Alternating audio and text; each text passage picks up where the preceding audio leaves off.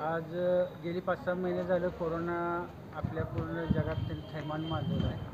आणि सुरुवातीला दोन तीन महिने आमच्याकडे कोरोनाचे पॉझिटिव्ह एकदम कमी प्रमाणात होते. आणि ह्या दोन महिन्याच्या कालावधीत कोरोनाचे पेशंट एवढ्या मोठ्या प्रमाणात वाढत आहे की ते बोलायचं काम नाही.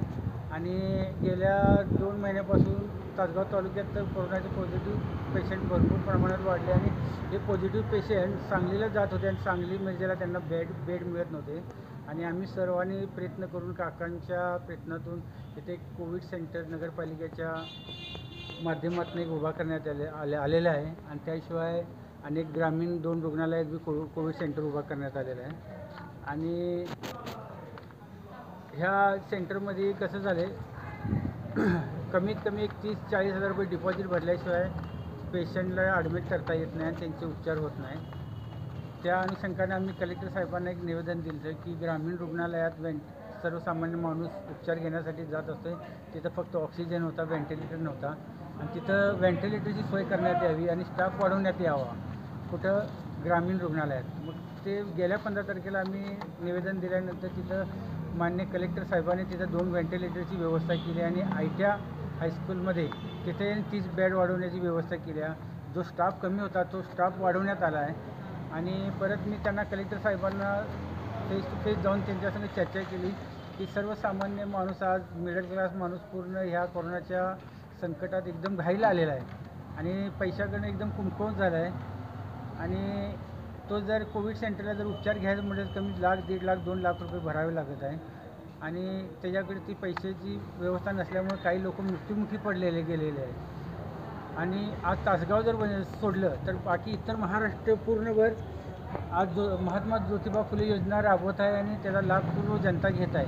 फक्त तासगाव त्या योजनेपासून वंचित आहे. हे जेव्हा मी कलेक्टरांना सांगितल्यावर कलेक्टर साहेब मला काय म्हणलं हे जे दवाखाने केले टम टेम्परवारी आहेत ह्या दवाखाने त्यांची कागदपत्रवर पोस्ट करून ते जो महात्मा ज्योतिबा फुले योजनासाठी त्यांनी ते प्रस्ताव म्हणून ती योजना तिन्ही आणली पाहिजे आणि त्या योजनेचा लाभ पेशंटांना मिळाला जाईल.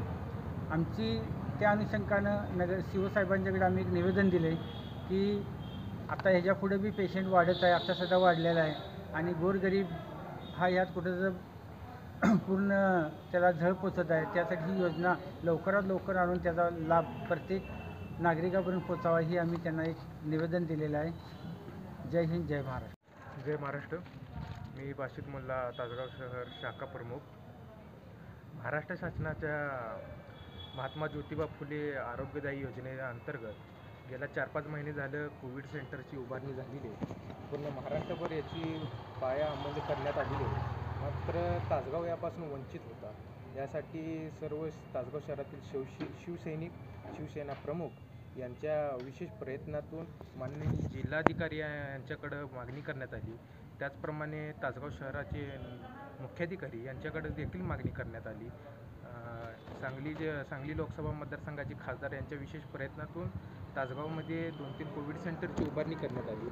मात्र ते तत्कालीन किंवा टेंपररी असल्यामुळे त्यामध्ये कागदपत्र पत कागदपत्रांची पूर्तता होण्यात कमतरता आहे. त्यासाठी शिवसैनिक व शिवसेना प्रमुख यांच्या विशिष्ट प्रयत्नातून माननीय मुख्याधिकारी का- यांच्याकडं निवेदन दिलेलं आहे.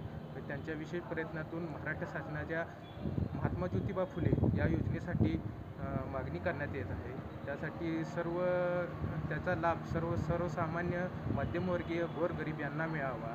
आणि जी झळ जी जी आर्थिक कुचमना गोरगरिबांची किंवा मुख्य मध्यमवर्गीयांची होते त्यापासून एक महाराष्ट्र शासनाच्या प्रयत्नातून की प्रत्येक प्रत्येकाला आदरणीय शिवसेना प्रमुख उद्धवजी ठाकरे यांच्या विशेष प्रयत्नातून ती प्रत्येक सर्वसामान्य नागरिकाला पोहोचण्याची जबाबदारी समस्त शिवसैनिकांनी आणि शहर प्रमुखांनी घेतलेली आहे. त्याबद्दल देखील स सर्व शिवसैनिकांचा आणि मुख्य मुख्य अधिकारी यांचं मुख्यमंत्र्यांचं देखील आभार करतो.